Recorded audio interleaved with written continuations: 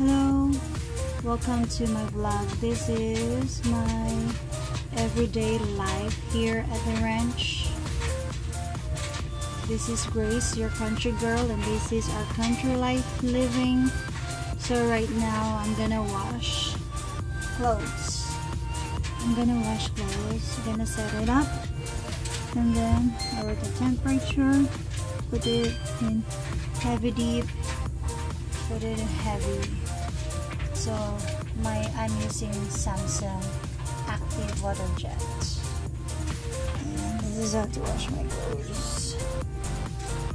Turn it on.